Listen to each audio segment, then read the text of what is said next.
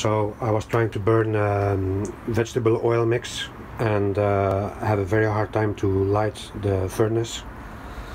You know, here I'm recuperating uh, oil and uh, it's just very hard to ignite. And uh, I think I have a remedy and I'll show you what I'm doing. So I took out the burner head and uh, here you can see the, no the nozzle uh, what I did. At least now I'm uh, mounting uh, this piece here which is a, a, PTC thermistor. And this is actually from um, a mosquito mosquito tablet uh, repellent you know that you plug in in the wall. I took that element out because I know it's 100 degrees Celsius. It's a little bit too hot but I couldn't find um, any other heater that stays at a certain temperature. So I know that this one stays at 100 but I'm hoping that the surface is large enough to dissipate and I don't think that this pipe will ever get 100 degrees. But anyway so I'm mounting this. Um, I don't want to drill a hole in here. This is where the the sensor goes for the lights. I'm hoping that with the rubber I can squeeze it in so this should preheat the oil the vegetable oil enough to make it um, more liquid. We'll see how that goes.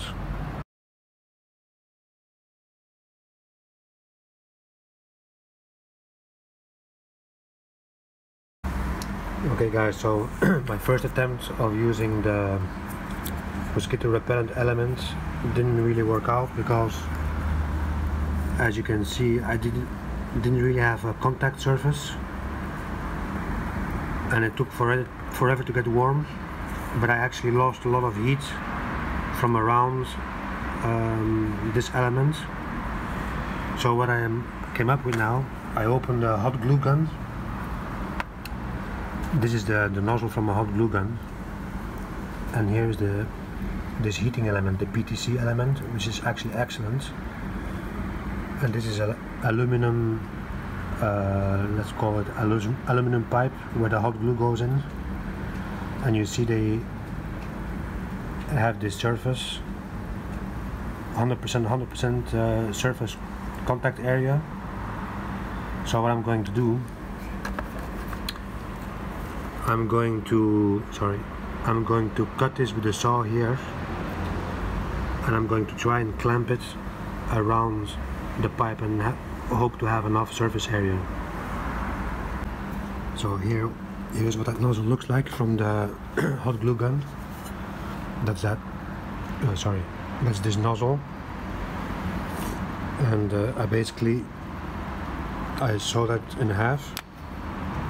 There was some glue inside, so I just used a, a burner to heat up that glue and scrape it out.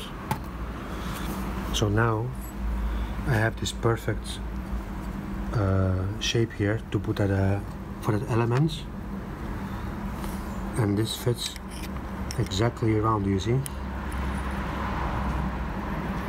And I'm going to put uh, only one hand here but this will go on top as a cover.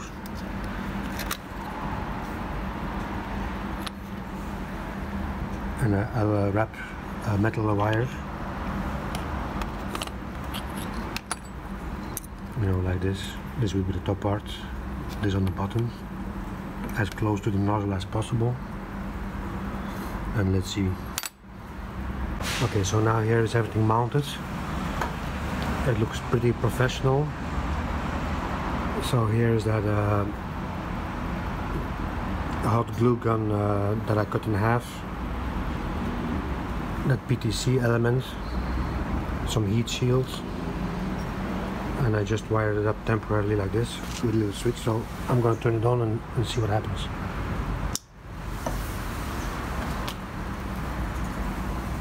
Oh yeah, it, immediately you can feel the heat.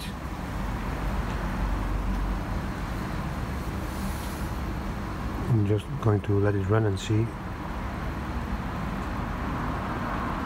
I have no thermometer so I don't know what temperatures we have but the hot glue gun reaches 200 I think. But I'm hoping that it will uh, let's say lose a little bit heat around um, essentially. We want to heat up this whole um, nozzle which is copper. Yeah you can definitely feel the heat yeah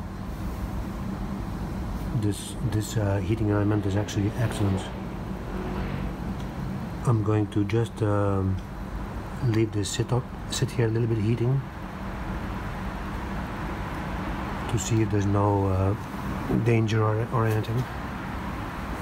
But so far so good. It's nice and warm. I'm just hoping that it will distribute um, for a good part. I know that this one will absorb heat we'll see. I'll let you know. I will install it and let you know